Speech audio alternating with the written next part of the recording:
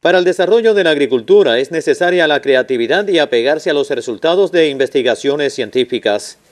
El creador de este proyecto trabaja de cara al surco, apoyado en diversas fuentes documentales que le han permitido libar las esencias que conducen al éxito. El proyecto ya tiene de 3 a 4 años de haberlo iniciado. Es en un recodo de la vía que conduce a la comunidad de Laurel, en el Consejo Popular homónimo, donde se aprecian evidencias de que cuando se conjugan ciencia, creatividad, amor y empeño, sí se puede. La misión fundamental que tenemos es producir comida para la comunidad, para el municipio y para todo el que, el que lo necesite. En correspondencia con lo contemplado en el proyecto, se han creado fuentes de empleo para vecinos de la comunidad y además de la producción de hortalizas se obtienen semillas, se piensa en la extensión del área de trabajo y en la generalización de las experiencias. Y en el futuro lo vamos a llevar también a las escuelas.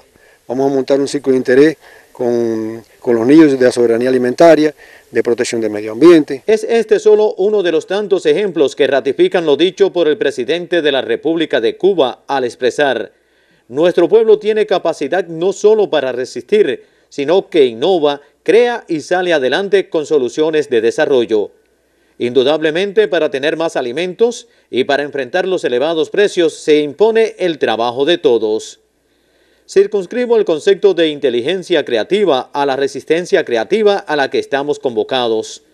Es la capacidad que tiene una persona para generar ideas novedosas y plantear soluciones originales es aquella que permite desviarse de los senderos habituales para encontrar nuevas fórmulas, ayudando así a resolver problemas.